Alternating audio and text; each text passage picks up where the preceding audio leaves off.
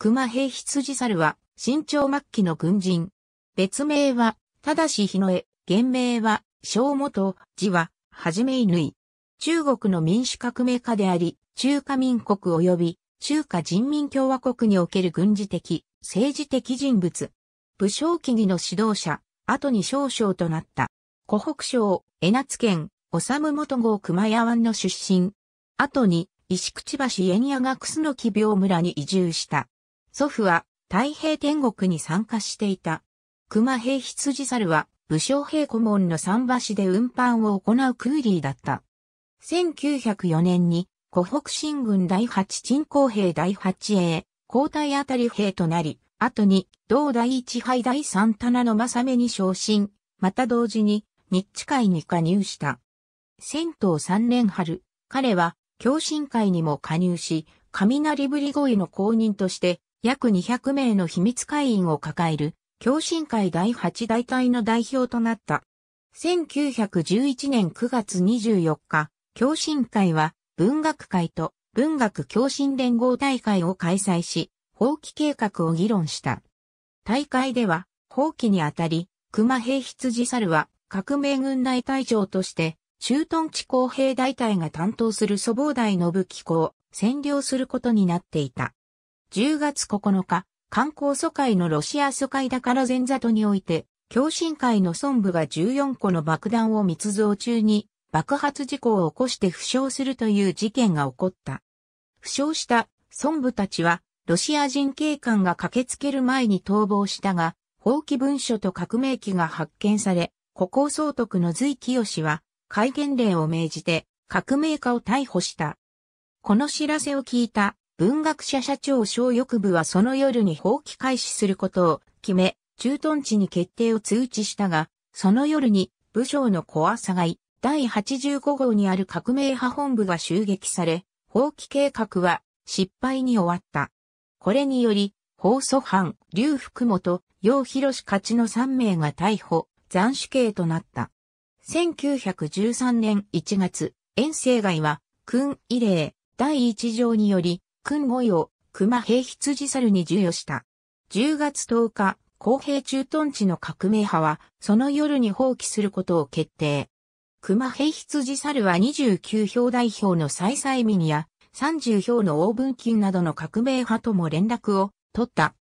9日以来、前衛で弾薬を軍艦の拳銃を除いて没収されていたが、即営学校教官の片教が調達した弾薬を交代の3個配兵士らに1、2発ずつ配り、決起の際は、それぞれの各配省庁3人を射殺するよう指示した。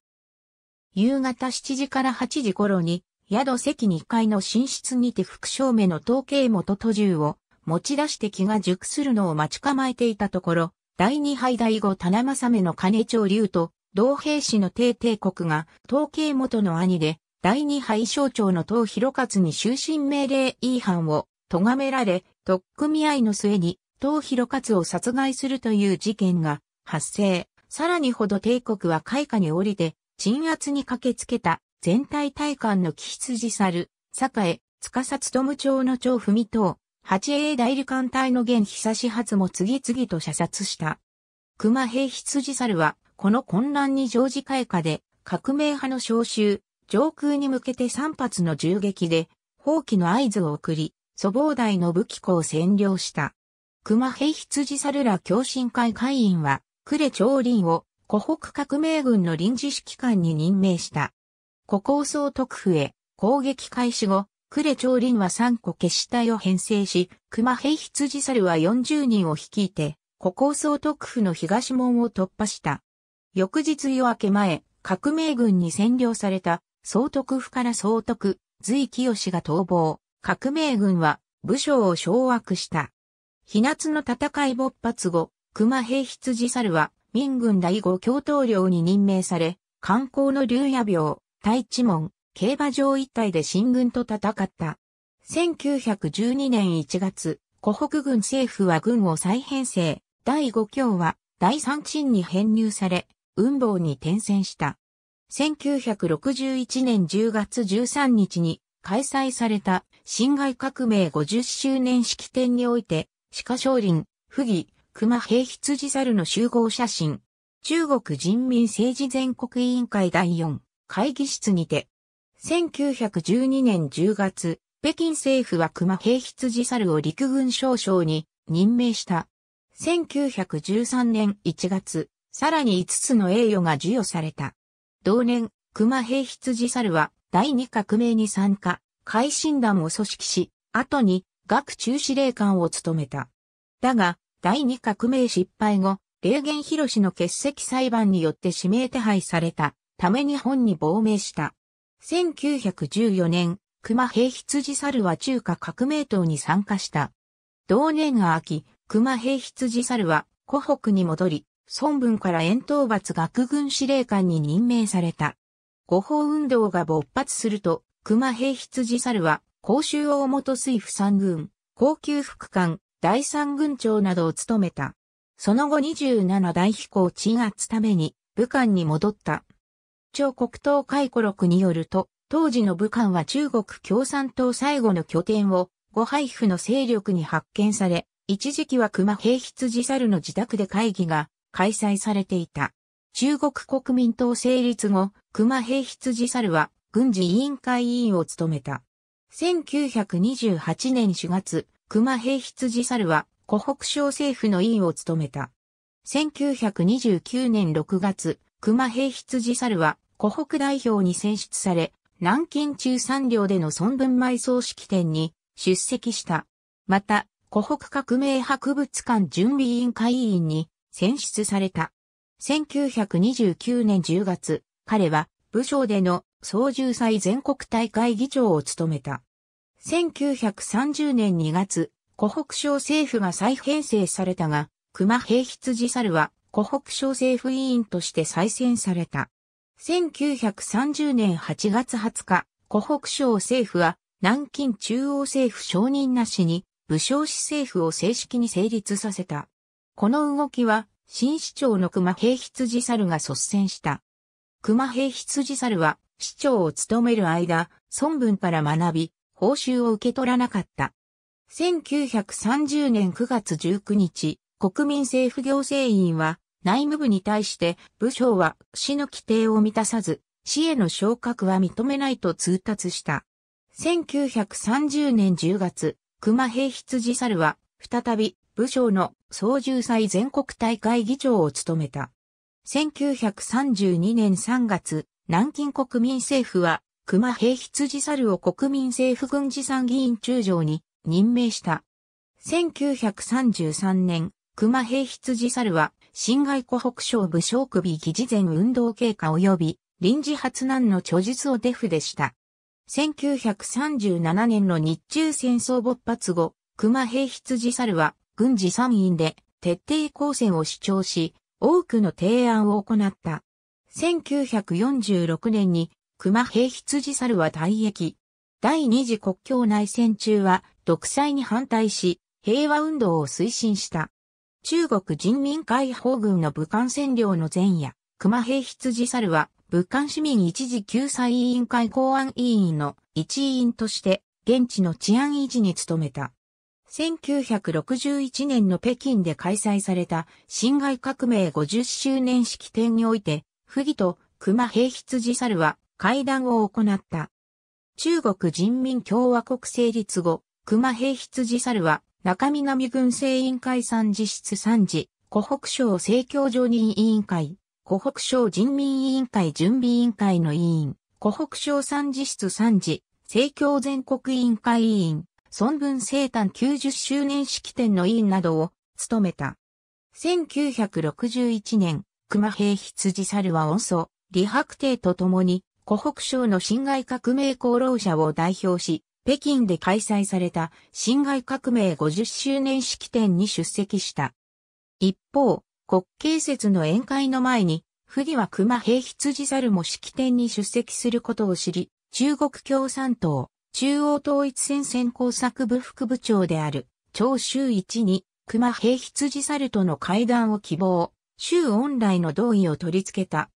国民の日の晩餐会で、不義は熊平羊猿と乾杯した後に、国務院の周恩来の取り決めのもと、不義は熊平羊猿などの革命派と正式に会談を行った。1964年、中国人民政治協商会議全国委員会が開会されると、熊平羊猿は湖北省委員として北京に赴き、周恩来と会談を行った。熊平羊猿は、辛亥革命記念館の早期完成を希望し、周恩来も同意した。文化大革命が勃発すると、公衛兵が熊平羊猿の自宅に乗り込み、1913年1月に遠征外によって与えられた空母衣装を剥奪した。1969年5月初旬、熊平羊猿は風邪で入院したが症状が悪化し、5月30日に亡くなった。熊平羊猿の息子である熊輝きは、湖北省革命委員会会長である長体学を経由して、周恩来に彼の死を伝えた。周恩来はすぐに次の4点を指示した。1、武将級法列氏の見捧に埋葬すること。2、湖北省革命委員会が葬儀を開催し、花を贈ること。3、追悼会を開催し、訃報をマスコミに公表すること。4、遺族を慰問し、意向を聞くこと。